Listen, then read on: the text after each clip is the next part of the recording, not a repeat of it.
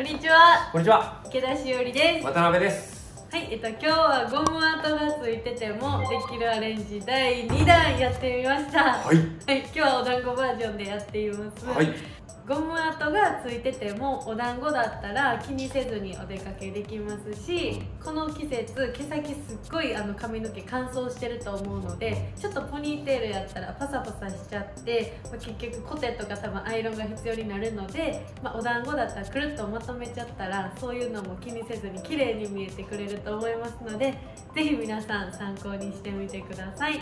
完璧です。ははい。い、それでは動画スタートベイビーヘアオイルを使います。3滴出します。髪の毛全体になじませます。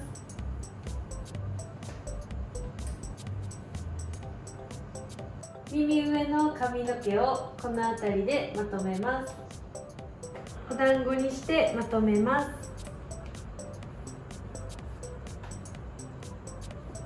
残ってる髪の毛を半分に分けてねじります。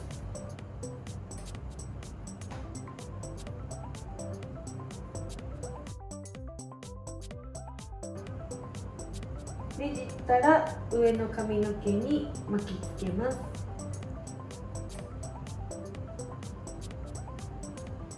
巻きつけたら上からゴムで結びます。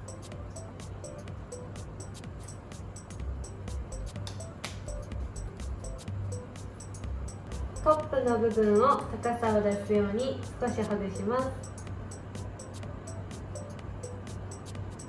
サイドも2箇所ほぐします。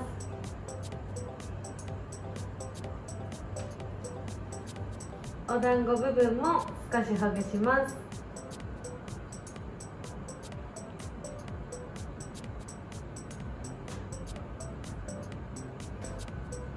N ドットのスプレーを使います。軽くスプレーを振って毛流れを整えたら完成です。今日は、えっと、ゴム跡がついててもできるアレンジのお団子バージョンをやってみました。と、ゴム跡が残っててもお団子だったら気にせずにアレンジできますし髪の毛の量が多い方や毛先の乾燥が気になる方でも、えっと、バッチリなアレンジになりますのでよかったら参考にしてみてください。さよなら。